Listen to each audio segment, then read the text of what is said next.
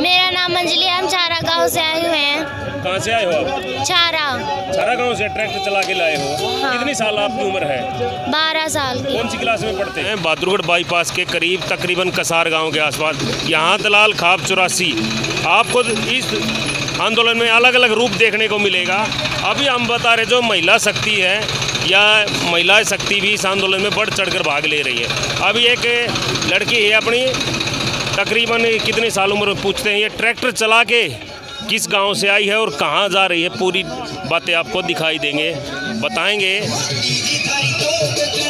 नमस्कार जी। नमस्कार। आपका? मेरा नाम अंजलि हम चारा गाँव से आए हुए हैं। कहाँ से आए हो आप? चारा। सारा गाँव से ट्रैक्टर चला के लाए हो। हाँ। कितनी साल आपकी उम्र है? बारह साल की। कौन सी क्लास में पढ़ते हो? सेवेंथ में। सेवंथ में पढ़ते हो।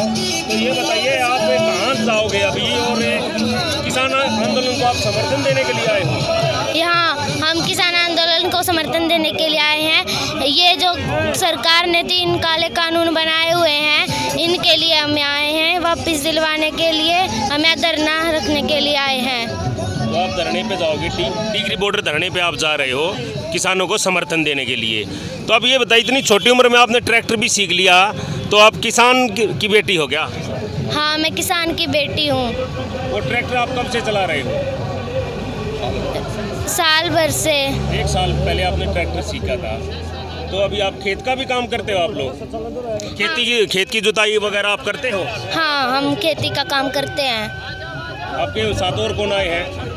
मेरे पापा काका ताऊ सब यहाँ पर आए हुए हैं। ये आपके डैडी हैं? तो ये इनके फादर हैं उनसे बात करते हैं और राम राम भाई साहब। राम राम भाई साहब। आपका? श्री भगवान जी। तो आपने ये एक मिसाल ही बना दी है कि लड़कियाँ किसी क्षेत्र में कम नहीं है ट्रैक्टर भी चलाती है और खेत सारा काम करती है खेती का बाड़ी भी चौकती है अपना कटाई भी करती है हमारा पूरा हाथ बटवाती है।